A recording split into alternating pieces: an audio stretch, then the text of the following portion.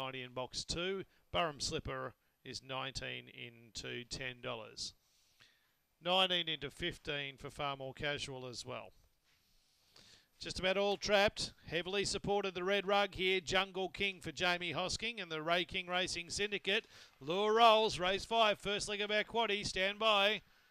Racing, Jungle King away third, box five, far more casual who's been Spectre's going to lead up. Jungle King tries to get underneath it, does so. Up to third, then Dancing Warrior from Soul Diva, far more defiant, Comical Len at the turn, putting the paw to the floor. Jungle King, the red rug runner, they jumped out of trees, they get the cash. Jungle King, two and three quarter lengths on the line to far more casual. Six away and third was Burham Slipper. Fourth then on the